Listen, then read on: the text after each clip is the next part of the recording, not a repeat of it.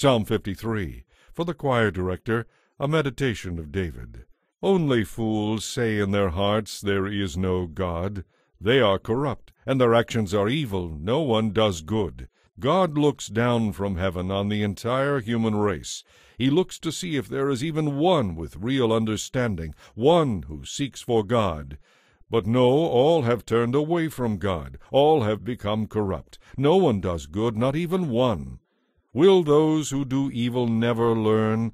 They eat up my people like bread. They wouldn't think of praying to God.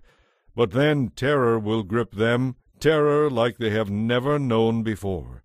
God will scatter the bones of your enemies. You will put them to shame, for God has rejected them. Oh, that salvation would come from Mount Zion to rescue Israel!